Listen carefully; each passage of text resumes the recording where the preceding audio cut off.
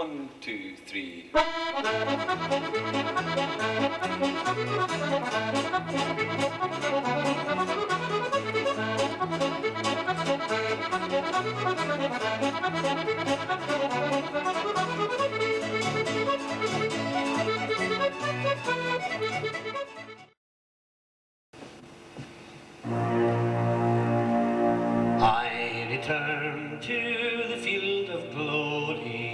Where the green grass and flowers grow and the wind softly sings the story of the brave lads of long ago.